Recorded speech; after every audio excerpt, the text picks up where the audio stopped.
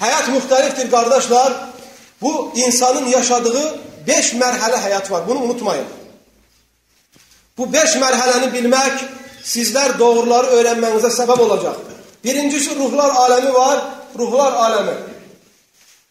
Bugün bizim ondan xəbərimiz yoxdur.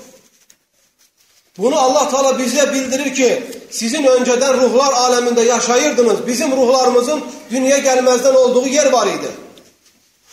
Hemen bu ruhlar aleminde olduğumuz günü ölüm meleği canımızı alıp ruhumuza apardığı gün bunu bilecek. İkinci hayat terzi ana karnındadır, ana betininde. Hiçbirimiz torpaktan bir başa çıkmamışıq. Hiçbirimiz göyden enmemişik. Ana betininden gelmişik hamımız dünyaya. Kimse aramızda burada.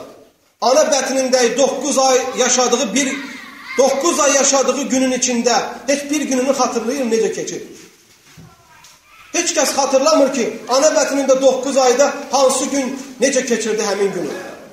Çünki o da bir aləmdir qardaşlar, o da bir mühitdir. Amma biz onu hamımız yaşamışıq, inkar eləyə bilmirik. Baxmayaraq ki, az qalır ki, insan inkar eləsin ki, yox, mən ana qarnında heç yaşamamışam. Ana qarnında sən suyun içində yaşamışsan. Qəlbin döyünüb amma tənəffüsün olmayıb.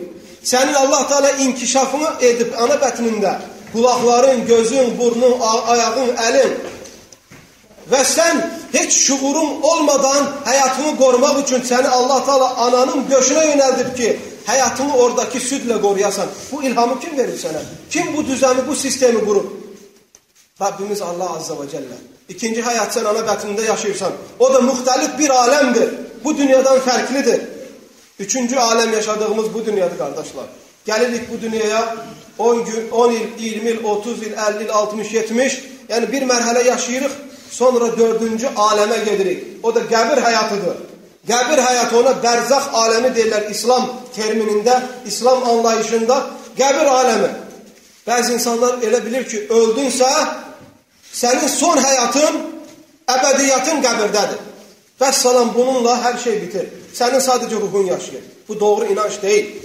Qəbir aləmi aləmlərdən, bu beş aləmdən biridir. Sonra beşinci aləm nədir qardaşlar? O son olacaq. Bütün insanlar Allah Teala qiyamət günü qopartdığı gün yeryüzündə olan bütün canlılar sona yetəcək. Və sonra təkrar Rabbimiz əmr eləyəcək ki, Adəm aleyhissalamdan qiyamət günündə kim son gələn insan hamısı təkrar dirilsinlər. Hamısı təkrar dünyaya gəlsinlər. Fərqi yoxdur, insan bombada partlamış ola bilər. İnsan yanıb kül olmuş ola bilər. İnsan heyvanlar tərəfindən yeyilmiş ola bilər. İnsan qəbrə dəfn olunmuş ola bilər. Fərqi yoxdur. Allah insanın bel sümüyünün onurqasında son bir dənə son sümük var. Hər kəsdə var. Bel onurqasının sonu. Onu kisladanın içinə salsan da ərimir. Onu ən isti ateşin içinə atsan da o ərimir.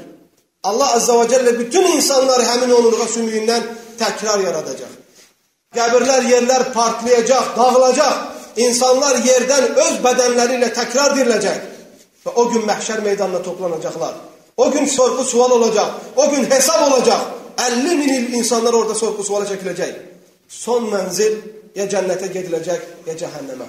İnsanlar öz bədənləri ilə, öz şuurları ilə, öz ağılları ilə, öz dərləri ilə girəcəklər. Cənnətə də, cəhənnəmdə də. O aləm xulud aləmi olacaq. Nə ölüm var, nə xəstəlik var. Cənnətə girən əbədi yaşayacaq, cəhənnəmə girən də orada əbədi qalacaq. İxlasla.com saytı tərəfindən təqdim olundu.